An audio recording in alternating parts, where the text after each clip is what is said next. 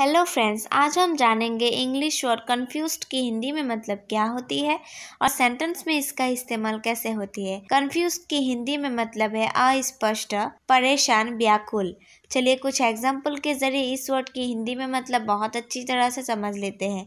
Example for a moment he looked confused and then turn away इस sentence का हिंदी में मतलब है, एक पल के लिए वो भ्रमित देख रहा था और फिर दूर हो गया। चलिए नेक्स्ट एग्ज़ाम्पल जान लेते हैं।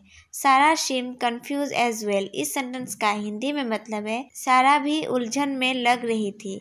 चलिए नेक्स्ट एग्ज़ाम्पल जान लेते हैं। We were just too confused playmates इस सेंटेंस का हिंदी में मतलब है, हम सिर्फ़ दो भ्रमित प्ले में थे। चलिए नेक्स्ट एग्ज़ाम्पल जान लेते हैं। हिस वर्ड्स कंफ्यूज हर इस सेंटेंस का हिंदी में मतलब है, उसकी बातों ने उसे भ्रमित कर दिया। सो so फ्रेंड्स उम्मीद करती हूँ कंफ्यूज की हिंदी में मतलब क्या होती है और सेंटेंस में इसका इस्तेमाल कैसे होती है, वो अच्छी तरह से समझ गए होंगे। इसी तरह से और भी इंग्लिश और हिंदी में एग्ज़ाम्पल के साथ जानने के लिए हमारे इस चैनल के होम पेज में जाकर चेकआउट कर सकते हैं। वीडियो अच्छी लगी तो लाइक करें और साथ साथ साथ चैनल को सब्सक्राइब कर दीजिएगा।